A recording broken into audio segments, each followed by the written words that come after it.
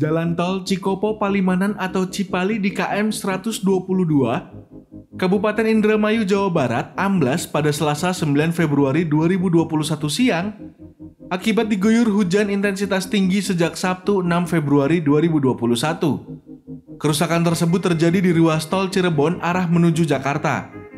Amblasnya jalan tol itu memiliki kedalaman bervariasi, mulai 40 cm hingga 2 meter, dan lebar retakan diperkirakan lebih dari 5 meter. Hampir satu ruas jalan mengalami amblas. Direktur Operasi Astra Tol Cipali Agung Prasetyo mengatakan, jalan yang mengalami kerusakan itu tidak bisa dilintasi oleh kendaraan dan masih ditutup. Jalan masih ditutup sejak dini hari untuk menghindari adanya kerusakan susulan, ujar Agung melalui keterangan tertulisnya. Akibat adanya hal tersebut, kepolisian pun memperlakukan sistem kontraflow mulai dari KM 117 sampai 126. Ahli dan peneliti longsor dari Lembaga Ilmu Pengetahuan Indonesia atau LIPI, Adrin Tohari mengatakan ada beberapa faktor yang membuat ruas jalan tol itu amblas. Salah satunya adalah badan jalan tersebut berupa timbunan.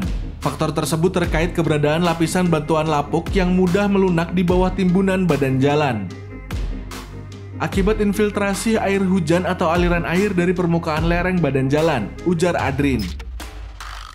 Kejadian di Jalan Tol Cipali ini menurutnya mirip longsor di Jalan Tol Cipularang pada Desember 2005. Penyebab di Tol Cipularang, kata Adrin, diketahui ada dua. Lapisan tanah lunak dari pelapukan batu lempung ekspansif dan saluran air bawah permukaan atau cross drain yang tidak berfungsi.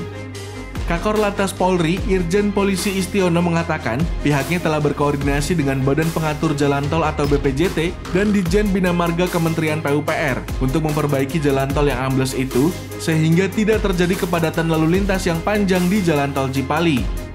Dirinya memprediksi perbaikan ruas jalan tol Cipali tersebut membutuhkan waktu paling cepat 20 hari ke depan kepada masyarakat yang berencana lewat Cipali KM 122 untuk bersabar sambil menunggu proses perbaikan, ujar Irjen Polisi Istiono.